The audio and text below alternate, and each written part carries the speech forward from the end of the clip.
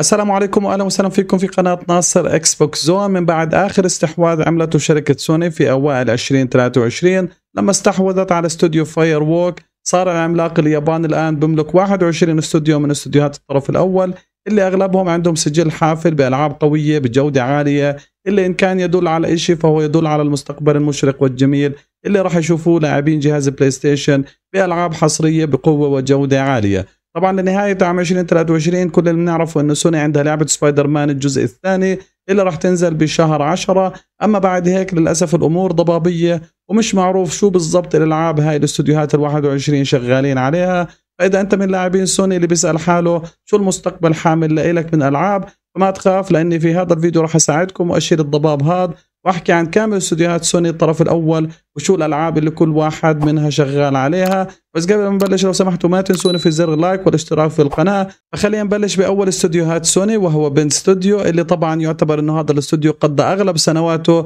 وهو شغال على ألعاب حصرية لجهاز ال PSP وجهاز ال PS Vita اللي شفنا عودته لالعاب ال console قبل سنوات لما أعطانا لعبة Days Gone للأسف اللعبة الجديدة اللي شغال عليها هي مش الجزء الثاني من لعبة Days Gone على الرغم من إنه في طلب كبير على صراحة تواجد جزء ثاني وحتى في توقيع كان لفوق ال 150 ألف لاعب على عريضة بيطالبوا فيها شركة سوني واستوديوهاتها إنهم يعملوا جزء ثاني من هاي اللعبة. بس عم نشوف إنه اللعبة الجديدة اللي شغال عليها استوديو Bend إنه هي لعبة جديدة new IP مبنية على نفس مبادئ وميكانيك العالم المفتوح الموجود في لعبة Days Gone وفي إشاعات متعلقة طبعا بناء على طلبات التوظيف اللي كانت موجودة على موقع الاستوديو. بتوحي إنه هاي اللعبة راح يكون تركيزها هو ال multiplayer. ونكمل في الاستوديو الثاني Bluepoint Games اللي من قبل ما تشتري شركة سوني بعام 2021 كان هذا الاستوديو معروف عنه عمل نسخ remaster أو نسخ جديدة لبعض أفضل الألعاب مثل لعبة Metal Gear Solid HD Collection ولعبة Uncharted The Nathan Drake Collection ولعبة Shadow of the Colossus وآخر أعماله كان عمل remake للعبة Demon's Souls للأسف من بعد هذا الاستحواذ ما في أي معلومة متعلقة عن شو اللعبة الجديدة اللي هذا الاستوديو شغال عليه فمشان هيك خلينا نروح للاستوديو اللي بعده اللي هو استوديو Bungie اللي هو يعتبر واحد من أحدث الاستوديوهات اللي استحوذت عليه سوني. اللي طبعا شفنا الاستحواذ صار ب 2022 صاروا بنفس السنة واكتمل بنفس السنة. كل المعلومات المتوافرة عن مشاريع هذا الاستوديو إنه هو الآن مستمر بدعم لعبة Destiny الجزء الثاني وبيعمل أجدد توسعة لها وهي توسعة Final Shape المفروض تنزل بعام 2024 بالإضافة لهذا الحكي شفنا حديثا الكشف اللي صار عن لعبة ماراثون اللي هي المشروع الجديد لهذا الاستوديو اللي تركيزه هو ال multiplayer وهي عبارة عن remake وإعادة رؤية وتصور لواحدة من أقدم ألعاب ال shooter اللي شفناها في عام 1994 طبعا لعبة ماراثون ما زالت في مراحلها الأولية من التصميم والتطوير ومن الأكيد لسه بدنا سنين لنشوف المزيد عنها. وبنكمل للاستوديو الرابع وهو استوديو Firesprite اللي هذا الاستوديو يعتبر استوديو داعم ومساند لاستوديوهات سوني الثانية اللي بيعمل اللمسات النهائية لأغلب ألعاب سوني الحصرية.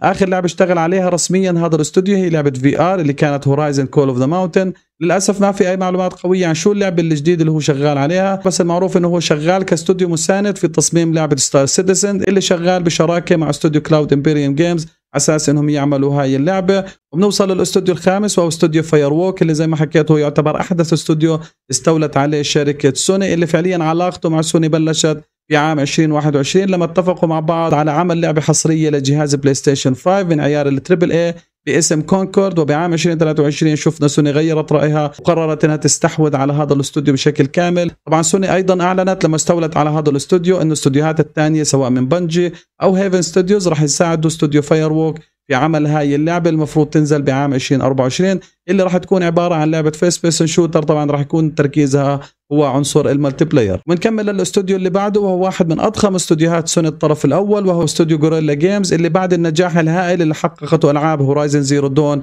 و Horizon Forbidden West ما حدا راح يتفاجئ إذا شفنا الجزء الثالث لهي اللعبة اللي كان فعلا في إشاعات طلعت بشهر أربعة بتحكي إنه الاستوديو بلش إنه يشتغل على الجزء الثالث من هاي اللعبة. بالإضافة طبعا لهي الإشاعات كان في معلومات موثوقة ممكن نعتبرها نوعا ما بتأكد إنه الاستوديو شغال على لعبة multiplayer مبنية على عالم Horizon بس طبعا مع التهريبات اللي صارت عن هذا المشروع كان في شبه تأكيد إنه لسه المشروع مطول ومش معروف متى ممكن ينزل. وبنكمل في الاستوديو السابع وهو استوديو Haven اللي استحوذت عليه سوني في عام 2022 اللي تم حديثا في ال showcase للسوني اللي صار بشهر 5 من 2023 كشف إنه شغال على لعبة multiplayer تنافسية اسمها Fairgames بمبدأ مبني على السرقات وعمليات السطو. وبرضه مثل ما حكيت سابقا إنه هذا الاستوديو الآن في تعاون مع استوديو Firewalk في عمل لعبة كونكورد اللي هي برضه لعبة multiplayer وبننتقل لإستوديو رقم 8 وهو استوديو Housemarque اللي تم الاستحواذ عليه مباشرة من بعد النجاح القوي اللي شافته اللعبة اللي اشتغل عليها. وكانت حصرية طبعا لجهاز بلاي ستيشن وهي لعبة Returnal طبعا من بعد الاستحواذ الأمور كانت هادية من جهة هذا الاستوديو واخباره وما في أي معلومات قوية عن شو المشروع الجديد اللي هو شغال عليه بس كان في إشاعات ضعيفة نوعا ما بتحكي إنه هو الآن شغال على لعبة جديدة راح تكون new IP وفكره جديدة اللي إذا كان الحكي صح راح يزعل أكيد أي حدا كان بيتمنى إنه يشوف جزء ثاني للعبة Returnal بس للأسف ما في أي معلومات قوية عن شو هاي اللعبة وشو تفاصيلها. وبنوصل للاستوديو التاسع اللي هو استوديو Insomniac Games اللي يعتبر مثل البطة بتبيض بيض من ذهب لسوني مع كل الالعاب القوية والناجحة اللي بنزلها سواء كان من سبايدر مان أو لعبة Ratchet and Clank. طبعا استوديو Insomniac Games مسؤول الآن بتجهيز نزول أقوى لعبة حصرية لبلاي ستيشن لعام 2023 واي سبايدر مان الجزء الثاني اللي راح تنزل بشهر 10 بالإضافة إنه هو شغال على لعبة جديدة راح تكون بطولة وولفرين اللي تم الكشف عنها بعام 2021 وللأسف إن هذاك الوقت ما في أي معلومات عن هاي اللعبة ومتى ممكن نشوفها بس أكيد بمجرد ما يخلص الاستوديو من لعبة سبايدر مان الجزء الثاني وينتهي منها راح يتحول بكل قوته للعبة وولفرين اللي أغلب الظن بعام 2024 راح نبلش نسمع أكيد أخبار عنها. ونشوف في رقم 10 استوديو لندن اللي يعتبر من الاستوديوهات المسؤولة عن ألعاب بلاي ستيشن VR اللي كان آخر لعبة نزلها واشتغل عليها هي لعبة Blood and Truth بعام 2019 المشروع الجديد اللي شغال عليه هذا الاستوديو راح يكون لعبة multiplayer تعاونية في عالم خيالي بنسخة وهمية عن مدينة لندن. المعلومات عن هاي اللعبة جدا ضعيفة وخفيفة بس اللي حكته رئيسة هذا الاستوديو تارا ساندرس إنه اللعبة هي تعتبر الأضخم والأكثر طموحا من الألعاب اللي عمرهم اشتغلوا عليها للحظتنا. وبنوصل لرقم 11 واستوديو Media Molecule اللي يعتبر واحد من أكثر الاستوديوهات ابتكارا وطموحا وخصوصا بلعبته المبتكرة Dreams اللي نزلت بعام 2020 اللي تعتبر منصة لصناعة الألعاب. اللي شفنا إبداعات الناس واللاعبين بصنع وعمل ألعاب عظيمة وقوية من خلالها. للأسف شفنا في شهر 4 من 2023 قرار إيقاف الدعم عن لعبة Dreams اللي راح يصير بشهر 9 وأكد هذا الأستوديو أنهم الآن شغالين على مشروعهم الجديد. للأسف ما كان في أي معلومات أو مشاركة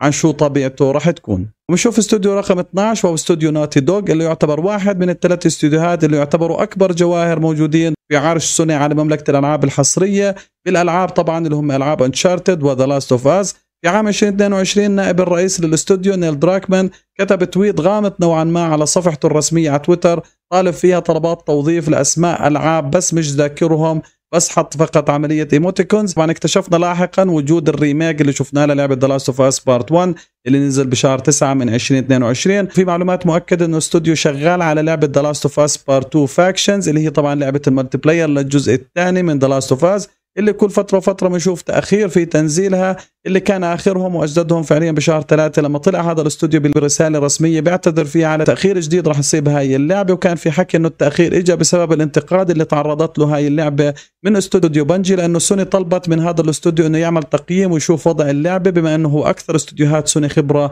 العاب ال multiplayer فكان رد Bungie على طبعا التقييم اللي عمله إنه شاف اللعبة غير مناسبة فمشان هيك سوني قررت إنها تأجل تنزيلها وتطلب من استوديو Naughty Dog إنه يعيد العمل عليها ويحل كل الملاحظات والانتقادات اللي عملها استوديو Bungie. وطبعا خلال هاي الرسالة اعتذر فيها على تأخير لعبة Factions حكى إنهم أيضا شغالين على لعبة جديدة new IP راح تكون مبنية على طور ال single player بس بدون الدخول في تفاصيل هاي اللعبة اللي طلع إشاعات خلال الفترة الماضية إنه هاي اللعبة الجديدة راح يكون تركيزها على عالم خيالي fantasy بس لسه ما في أي شيء أكيد من استوديو Naughty Dog بنشوف استوديو رقم 13 وهو استوديو Nixxes Software اللي هو يمثل بوابة سوني في نقل ألعابهم من جهاز ال console إلى الكمبيوتر. اللي الآن صار شغل سوني الشاغل بنقل ألعابهم وعمل port لهم على جهاز الكمبيوتر. كان آخر ألعابهم Ratchet and Clank اللي نزلت حديثا وبناء على أقوال المهندس المسؤول في هذا الاستوديو كون فرانفيلدر اللي حكى إنه الاستوديو الآن شغال على عمل remaster لالعاب كلاسيكية لشركة سوني.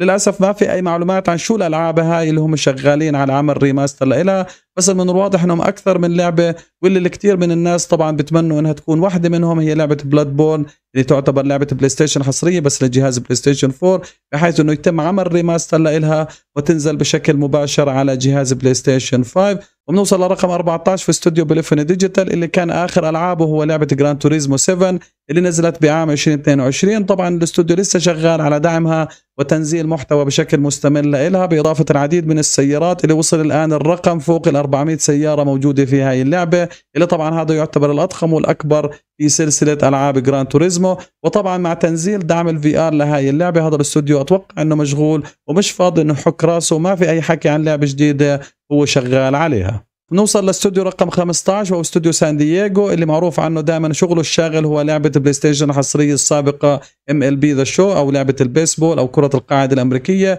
اللي شفنا أخيرا انها صارت تنزل على جهاز الإكس بوكس. كل المعلومات الموجودة عن هذا الاستوديو إنه هو شغال الآن على نسخة 2024 من لعبة MLB The Show اللي متوقع إنها تنزل بشهر 3 من 2024 وبنوصل لرقم 16 وبنشوف واحد من أضخم استوديوهات سوني وهو استوديو سانتا مونيكا. هذا الاستوديو اللي بكمل الفريق الثلاثي من صانعي اللعب لاستوديوهات سوني الحصرية طبعا على يمينه استوديو Insomniac وعلى يساره استوديو Naughty Dog. استوديو سانتا مونيكا طلع على الخريطة بقوة مع تنزيل لعبه God of War في عام 2018 واللي ضرب هذا النجاح لسه ب 10 لما نزل الجزء الثاني اللي شفناه في 2022 من ناحية مشاريعه الجديد الأمور هادية نوعا ما من الاستوديو ما في حتى أي تسريبات أو أخبار عن شو المشروع الجديد اللي شغال عليه بس كان في طلبات توظيف على موقعه قبل فترة بتوحي نوعا ما إنه شغال على مشروع جديد مجهول الهوية. بس من القراءة ما بين النصوص في طلبات التوظيف الواحد بشوف إنه ممكن يكون اللعبة الجديدة اللي شغال عليها هو جزء ثالث للعبة God of War وفي رقم 17 بنشوف استوديو Savage Game اللي استحوذت عليه سوني في منتصف 2022 في محاولة من سوني طبعا إنها تدخل في عالم ألعاب الخلويات والتليفونات. طبعا كل المعلومات المتوافرة عن هذا الاستوديو إنه شغال على لعبة من عيار ال triple A راح تكون تركيزها طبعا على ال multiplayer وال live service بنمط لعب اكشن بس لسه ما في أي معلومات وتفاصيل واضحة عن هذا المشروع. نوصل لرقم 18 وهو استوديو Sucker Punch Productions اللي طبعا هذا صار مثل النجم الصاعد ما بين استوديوهات سوني بلعبة الأسطورية Ghost of Tsushima اللي من بعد ما نزلت هاي اللعبة طلعت إشاعتين نوعا ما. واحدة منهم بتحكي إنه هو شغال على عودة لوحدة من ألعاب سوني كلاسيكية وهي لعبة Sly Cooper ب remake يرجعها مرة تانية لساحة الألعاب. وكان في إشاعات تانية بتحكي هو شغال على جزء تاني من لعبة Ghost of Tsushima للأسف ما في أي معلومات متأكدة عن شو الصح إنه هل فعلا راح يكون يعود مرة تانية للعبة Sly Cooper أو إنه راح يكون يعمل جزء تاني للعبة Ghost of Tsushima بس كل المعلومات المتأكدين عنها عن هذا الاستوديو إنه هو ما زال مستمر في عمله ودعمه للعبة Ghost of Tsushima Legends اللي هي تعتبر جزء ال multiplayer من لعبة Ghost of Tsushima وبنشوف استوديو رقم 19 استوديو Team Asobi المعروف عنه ألعاب Playroom اللي كان آخرهم لعبة Astro's Playroom اللي نزلت مع نزول بلاي ستيشن 5 اللي كانت بتمثل أفضل demo تعريفي ممكن إنك أنت تشوف فيه قدرات بلاي ستيشن 5 الأسطورية. هذا الاستوديو مع طلبات توظيف بينت على موقع بتوضح إنه شغال على لعبة جديدة راح تكون 3D بنمط ال action adventure وخلال مقابله صارت بعام 2022 طلع مدير الاستوديو نيكولاس دوسيه وحكى إنه مشروعهم الجديد يعتبر الأضخم والأكبر على الإطلاق. بالنسبة لهذا الاستوديو بس لسه ما في أي معلومات مؤكدة شو هذا المشروع بس إنه من المحتمل إنه ممكن نشوف جزء ثاني للعبة Astro's Playroom وبنشوف استوديو رقم 20 وهو استوديو Valkyrie Entertainment اللي هو عادة بيلعب برضه دور مساندة لإستوديوهات سوني الأكبر منه بحيث إنه شفنا إنه ساعد استوديو سانتا مونيكا في لعبة God of War الجزء الأول والجزء الثاني. طبعا لحظتنا الحالية ما في أي معلومات قوية عن شو المشروع الجديد اللي هذا الاستوديو شغال عليه بس في إشاعات الآن بتحكي إنه هذا الاستوديو بلش على عمل لعبة جديدة راح تكون لعبة استراتيجية وراح تكون هي أول لعبة رسمية له تحت اسمه تحت رايته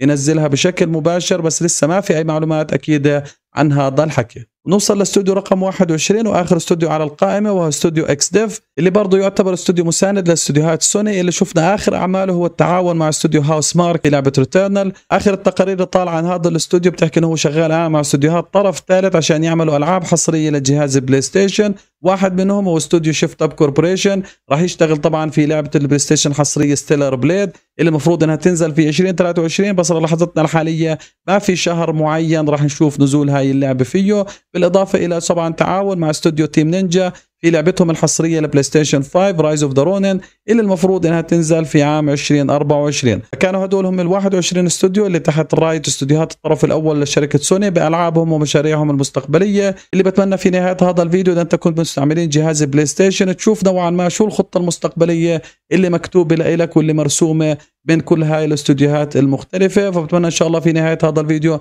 ما تنسوني في زر اللايك والاشتراك في القناة. في حال عجبكم المحتوى شاكر لكم المشاهدة بنشوفكم فيديو محتوى آخر بتمنى لكم كل خير وسعادة والسلام عليكم.